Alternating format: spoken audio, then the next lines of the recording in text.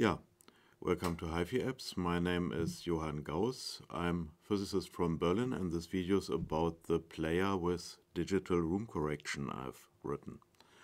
So I show a sort of short manual uh, how to start the player. You have at the first place to measure your room and I show some possibilities to do this.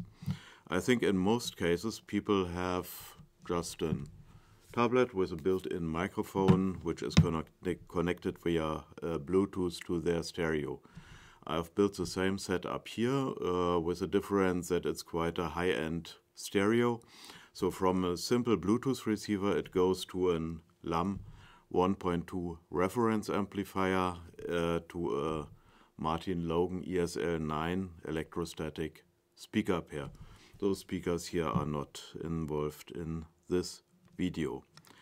Um, from there, I change from the built-in microphone to this uh, USB microphone. Um, this one is from Nubert. I think there are lots of similar uh, USB measurement microphones in the region below uh, 50 euro.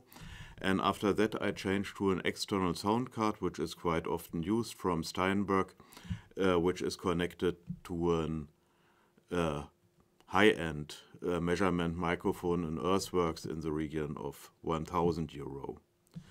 So first I start uh, with a Bluetooth measurement and for that I start first the screen recorder here. Okay, now should, should work.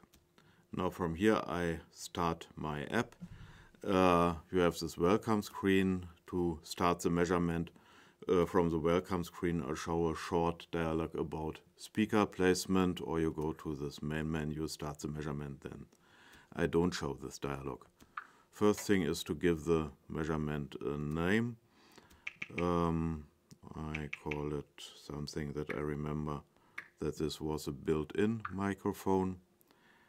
And now I have to connect the microphone because at the moment it's connected to the um, screen recorder.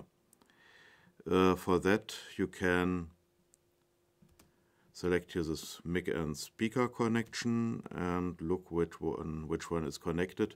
When selecting this I ask uh, the Android system uh, for speaker connection. You see it was enough uh, to select it. You see it here on the volume unit meter. Uh, on this occasion I can test if the speaker is connected and the volume is okay. Uh, you can do this as well here in this test signal thing. This may be useful if you have a subwoofer which has to be switched on automatically by a signal. So, from here you start your measurement. The microphone is down here. Hmm.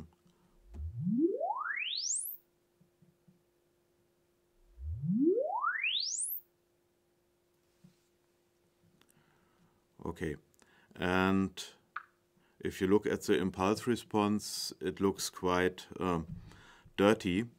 Uh, this comes from the slightly different sampling uh, frequencies. This Bluetooth receiver has one frequ frequency and the tablet has another one.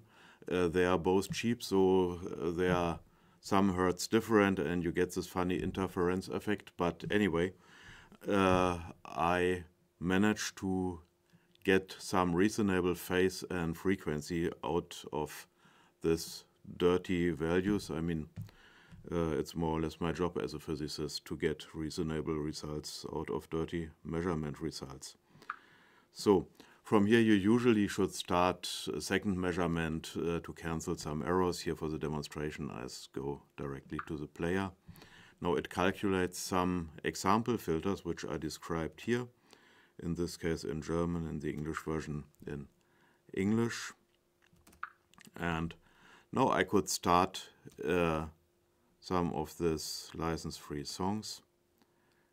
And in the mo first moment, uh, you need to give it some time. Uh, so convolution is really something to calculate.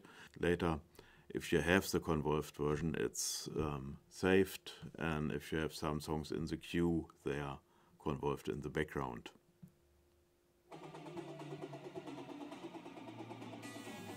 Yeah, Next step is to use the measurement microphone. So I go back to the main menu, plug it in, start the second measurement and because this is from Nubert I call it NU look if it's connected in the right way. USB audio and yeah if I touch it it works. Play is okay as well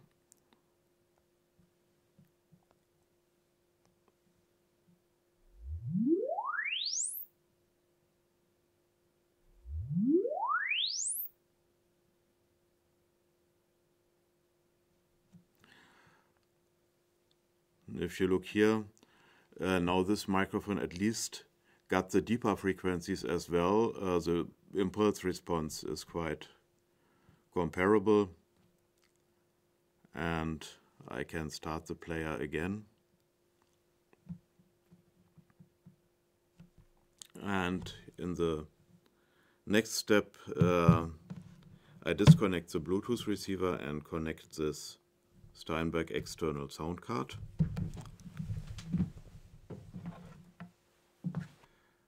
Okay, so now we can start the measurement with the Earthworks microphone.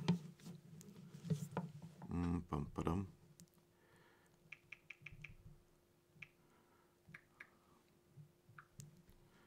Look again if I've got the right microphone.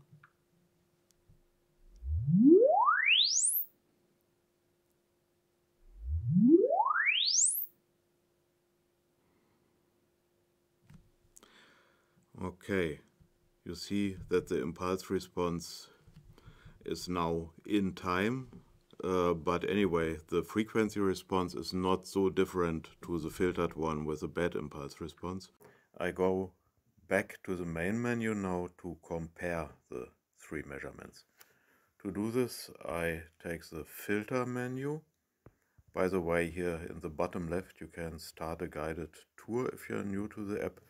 Uh, but in this case, I just take one filter randomly to edit because I'm not interested in the filter. I'm interested in the measurement used for the filter. In fact, the three measurements used for the filter. So here's the main page for the filter. You can make listening tests. In this case, we want just to see the frequency response and for that I start the editing.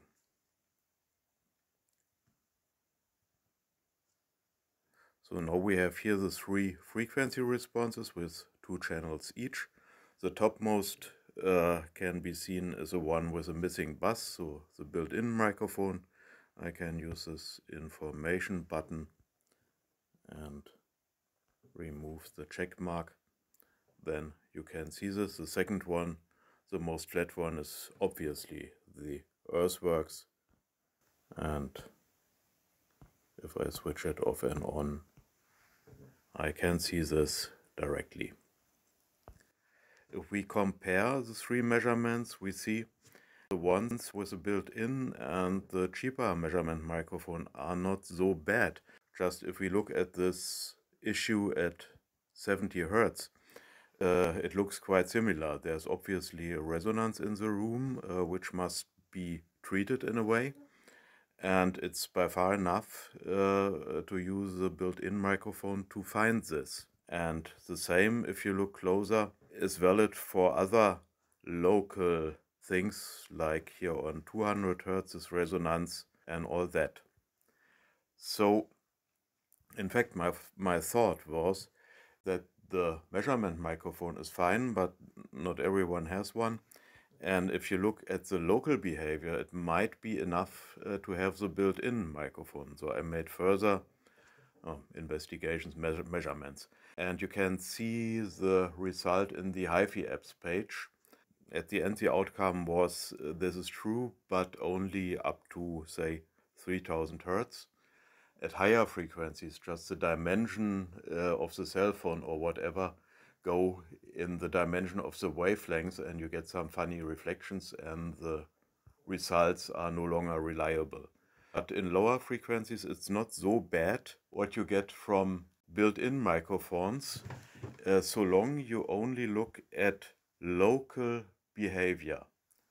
Then the next question is, it might be enough to look at the local behavior if you have a correction which looks only at the local behavior. And maybe it's enough to have a cor correction which looks only at the local behavior. So if you want to get rid of this resonance at 90 Hertz, you must not be interested what is what's happening at 3000 Hertz. So what I did next is to write an algorithm which looks just at the local behavior of the frequency response. That's not so difficult. Uh, I just made a very, very strong smoothing over several octaves and took that as a sort of normal zero, so to say.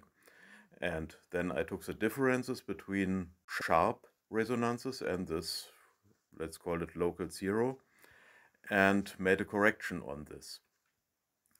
And it turned out that is not too bad. Uh, it's even partly better than uh, other corrections because the sound remains as it is. It just improves because the sharp corrections are treated in a way and the inequality between the two channels can be treated in a way, but the global behavior, uh, which might be intended in the way it is, remains as it is. So in fact, I introduced something I called strengths, which you can see here in this range thing, the slider down here. And if I change the strengths to 1, I get the normal uh, digital room correction. You must not understand this in details, but I get this correction curve, which is oriented on the um, target curve. And if I change the strength to 0, target curve doesn't matter anymore. I get a correction curve which is oriented at the global average of the speaker system, so the sound remains as it is, but it improves. So the fazit is, if you don't have a measurement microphone, reduce the strength, uh, correct the global behavior by ear, and just correct the small fluctuations, which is uh, much more effective. And if you have a measurement microphone, you are free to choose. Low strength leaves the sound of your system as it is, maybe it's intended, or to a classical digital room correction with high strength oriented on a target curve. Yeah, okay, that's the first overview for usage of the player. Thank you, goodbye.